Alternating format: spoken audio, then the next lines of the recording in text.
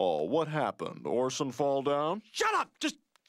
I, I don't want to hit it. Well, serves you right. You spent all that time trying to make Chris jealous, now you have an eating disorder. Just help me up. Well, you know I would, but my doctor advised me against heavy lifting. Oh, hardy ha ha. What, what the, the devil are you doing? Stop it! Stop it! I'm getting dizzy!